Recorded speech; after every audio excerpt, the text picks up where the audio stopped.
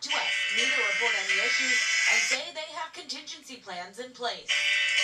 And